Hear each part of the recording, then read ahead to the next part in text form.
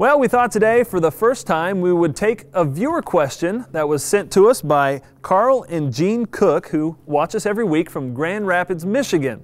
And they write, Many of us planted an alternative crop to rotate. What are some basic feed mixtures with wheat and grain sorghum? For example, how much soy, soybean meal to mix with sorghum for a fattening ration after coming off wheat pasture? Well, to help us answer that is Dave Lalman. Dave, uh, how are you doing today? I'm doing great, Clinton. What do you What do you think about this question?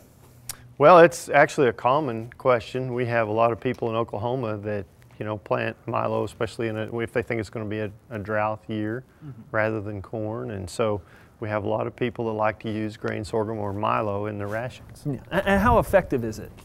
Well, in general, milo is about 10 to 15% lower in feed value than corn grain. The, probably one of the most important points about Milo is that it has to be processed, ground or rolled, crimped if you will, mm -hmm for it to be digestible to the cattle. That's, that's key.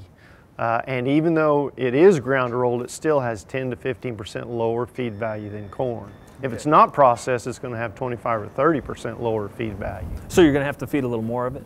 If you're going to get the same performance as corn, yes. Process it and then maybe just feed a little bit more. Okay. What kind of uh, mixture are we looking at? How, how would you go about putting a ration together? Well, if we're talking about uh, calves coming off wheat, like he mentions in the question there, uh, just something as simple as, um, you know, probably wouldn't want to go more than 50% of the grain portion of the ration as wheat because wheat's rapidly and highly digestible. Sure. So it can be a little bit dangerous. So then the other half of the grain portion could be rolled or ground milo, mm -hmm. and then you'd want to put in 7, 7 8% of the grain portion as uh, soybean meal, like he mentions, as the protein source. So about seven, eight percent.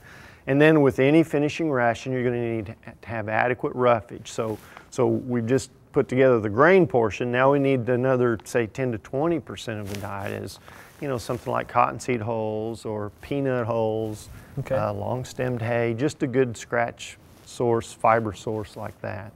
Okay. Also need to, you know, you'd need to include a little bit of additional calcium and probably vitamin A. Okay. Well, uh, hopefully this answers that question. If you have a question, be sure and send it to us online. You can find that uh, link on our website at sunup.okstate.edu. Thanks, Dave. Appreciate it. You bet.